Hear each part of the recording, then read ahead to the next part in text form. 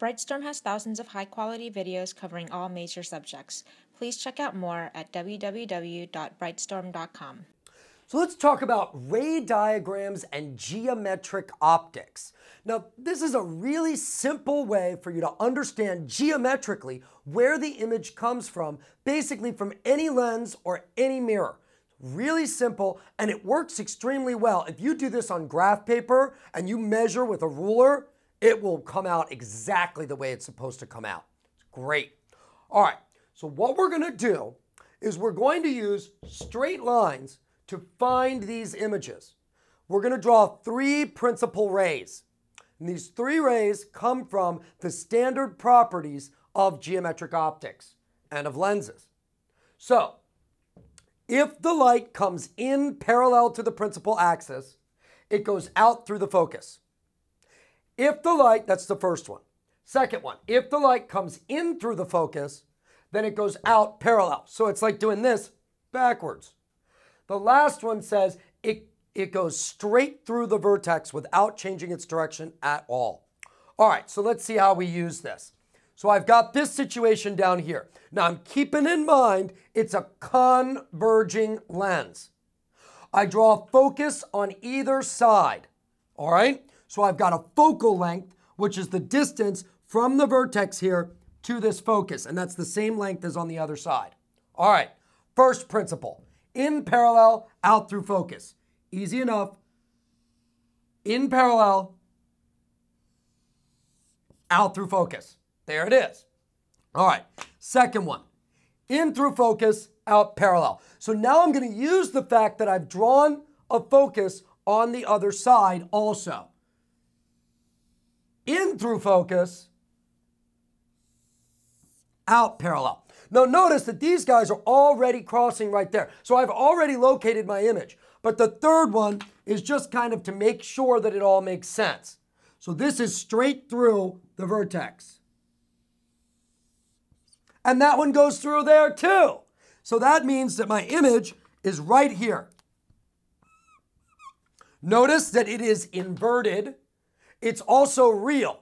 It's real because all these light rays actually go through that point. Notice that the inversion makes perfect sense. Green was on top over here. He's on bottom over here. All right? So that's the way that it works. I locate my image, nice and simple. Okay, so this is with a converging lens where you're further away. Now remember, if you get closer to the converging lens than the focus, something weird happens. So let's see that something weird happen. All right, so over here, I've got another converging lens, and this time I'm closer to the lens than the focus. All right, let's see. In parallel, out through focus. Well, that's easy enough. All right, we got that one. All right, next one. In through focus, out parallel. Hmm. Well, the focus is kind of on the wrong side. So, what I have to interpret that to mean is that I want the ray that looks like it was coming from the focus out parallel. Notice that these two rays are never going to meet on the proper side of the lens. So that's going to indicate a virtual. Let's just check that out. Well, I've got straight through. So there it is. Notice these guys really are not meeting. All right? So now what I need to do to make them meet is I need to pretend that I'm on this side of the lens. I'm looking at that light and I want to know what does it look like it's coming from. Not where is it actually coming from? It's actually coming from the object. Where does it look like it's coming from? Well, this red line looks like it's coming from there. This green line looks like it's coming from there. And this blue line looks like, and look at that. They all look like they're coming from this location right here. This is my image location. Notice that he is erect, he is virtual because the light didn't actually go through that point, right? And he's magnified. He's much bigger. And of course, that's why converging lenses are used as magnifying glasses. You take any magnifying glass you want to, you feel on both sides, and you'll feel that it is indeed convex glass on both sides. Convex. So it's a converging lens. All right, now let's see what happens with diverging lenses. These are a little weird, I have to say. But once you get the hang of it, it's not too, too bad. All right, remember what the green one did in parallel, out through focus. All right. In parallel. What does it mean out through focus? I don't want to draw it down like that because that's not what diverging lenses do. So what we need to do is we need to write it as if it was coming from that focus.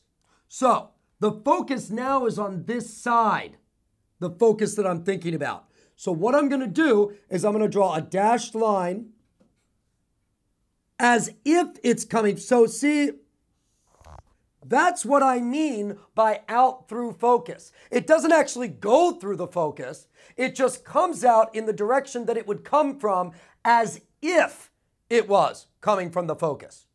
All right, let's do blue. Blue says in through focus, out parallel. All right, in through focus. Well, which focus? Not this one. It's got to come in through this focus. So it's going to come in as if it was going to this focus. So what I'm going to do is I'm going to draw a straight line that would continue to that focus. So once it hits the lens, instead of doing that, it's going to go out parallel. All right? All right, great. So there's two of them. The last one's always the easiest. Straight through vertex. Okay, I can do that. Uh, I'm done. Right?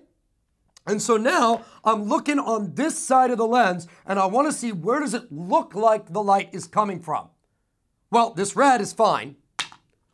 The blue looks like it's coming from here. The green looks like it's coming from that focus, and so therefore I'm all done. I got my image. He's right here. All right? He is erect or upright, and he is a virtual image that is uh, magnification less than one. It's smaller than the object. And that's the way that it goes. These diverging lenses are the most complicated ones, but they're really not that bad once you get the hang of them. What I would suggest you do is sit down with a piece of graph paper and you can make up these examples just as easily as I can. You draw two perpendicular lines and you draw an X on one side, and then you make sure that you draw an X on the other side that's the same distance away. If you're doing it right, your light rays will always converge to one point. And that's ray diagrams. By two. I can't do this with you two laughing back there.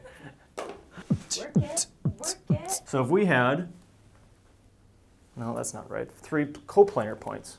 So have you ever gotten off an airplane? Has to be. Less than. Yeah. Dang. Is it like 500 degrees in here or what? All right, so when you're in chemistry class, you're going to be doing a lot of work. You're going to be starting over. So as an example, we could consider like you've got a chain hanging from two um, two fix. Yeah.